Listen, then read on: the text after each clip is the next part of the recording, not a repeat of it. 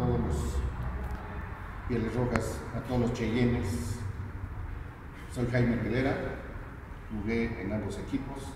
Soy parte del origen de los cheyennes que se convirtieron después en pieles rojas.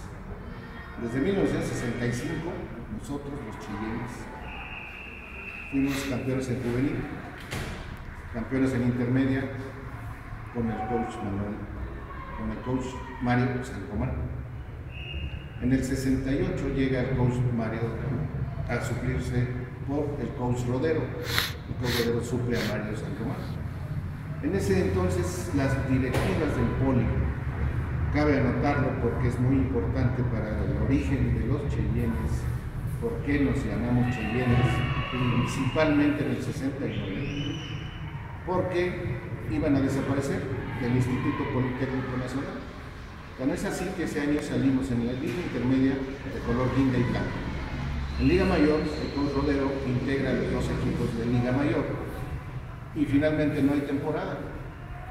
De ahí que al final de ese año, el 68, los equipos de juvenil intermedia recibimos la noticia que desaparecía el equipo de Cheyennes.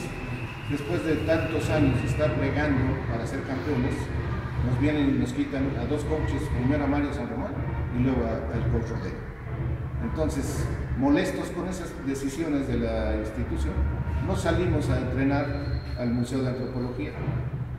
A la semana o semana y media hablamos con el coach Rodero para que nos entrenara. Y el coach Rodero empezó a mover a sus conocidos, logrando que nos dieran un campo en el Miguel Alemán, que entonces eh, dependía de Acción Deportiva, donde Pérez Miel, que era el teniente coronel, accede a la petición de un gran hombre que también fue parte de este juego, que es este hermano de otro coach que tuvimos, que fue Javier Patiño.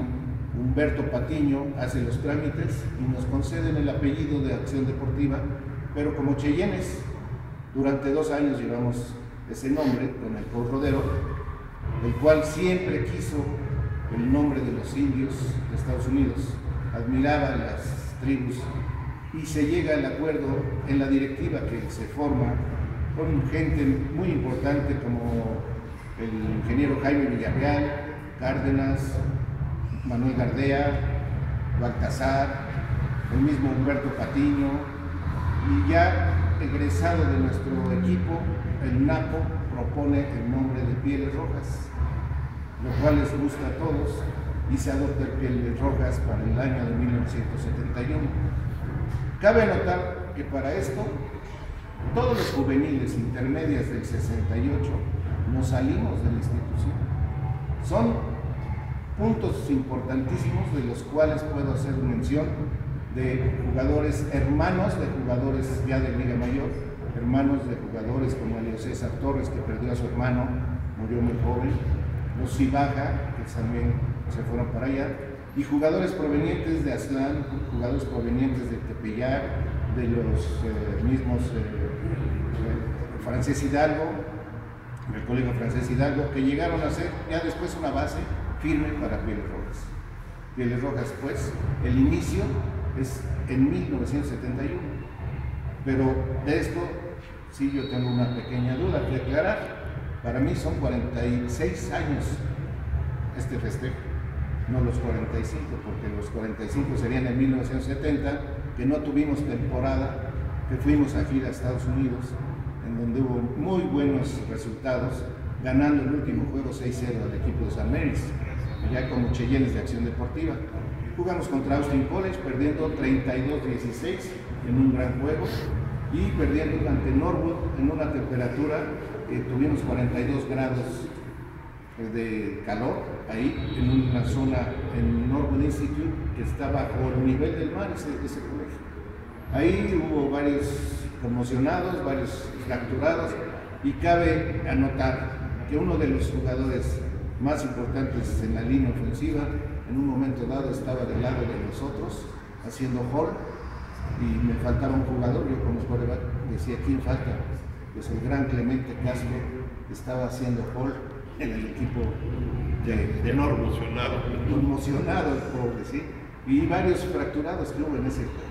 Después pues, surgieron juegos en donde el Coach Rodero tenía preparada una liga, una temporada internacional con equipos como Navy, Notre Dame, Austin, en donde ya se había comprometido para 1972 ir con Air Force, con Army, y a decir del Coach Rodero, decía, quiero ir a Army, a West Point, porque nunca he visitado a West Point.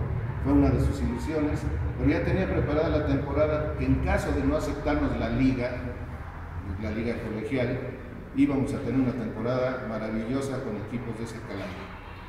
Norwood, Institute, Austin, Navarro, eh, Notre Dame, Navy, que era para nosotros, se le, cedió, se le cedió en 1971 a la selección nacional, eso es algo muy importante. Una época en la que el fútbol americano creció en México, creando clásicos contra el TEC de Monterrey, creando clásicos contra los Pumas de la universidad y creando clásicos contra Cóndores, contra Águilas Blancas, contra los mismos Cheyennes, que fueron estadios llenos casi siempre. Fue una temporada que movió al fútbol americano en México. En México se pusieron a trabajar todos gracias a que el Rodero implementó el gimnasio en, un lugar en donde no había más que tribunas, en donde un campo era lleno de piedras, de vidrios. Diario, todos los jugadores de juvenil intermedia teníamos que barrer el campo para que quedara finalmente como un campo de altura en la Ciudad de México y un gimnasio que solo Manuel Rodero pudo haber creado con su gran disciplina. Cabe mencionar que el coach Rodero nos enseñó bastante, de un 80% que dábamos de nosotros a un 100%. Ese fue nuestro gran coach y sus asistentes que al principio no cobraron, como Lucho Santa Cruz, como el coach Cornelio, como Saldívar, como Javier Patiño, como Emilio Lang, en paz descanse, y como Humberto Ortiz Veas, que yo los recuerdo con mucho cariño en el 69. Esa es gran parte de la historia. Como se puede ver, esos años reunieron a jugadores muy sentimentales, así nos llamaban, los sentimentales.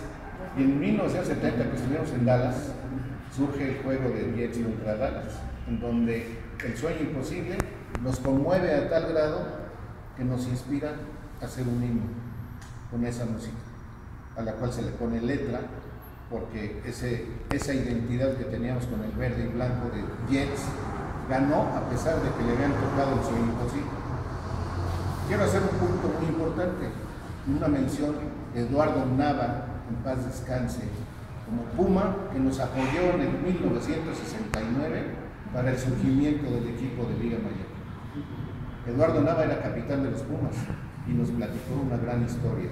Paz descanse, un reconocimiento a Eduardo Nava y a sus compañeros, porque el capitán es el capitán de toda una institución como una universidad. Él nos apoyó y gracias a que el coach Rodero tuvo a bien hablar con él. Él, Eduardo Nava, dijo cómo hicieron el himno, el himno. Esa nos conmovía a los Pumas si nos preguntábamos cómo pudieron hacer ese, himno.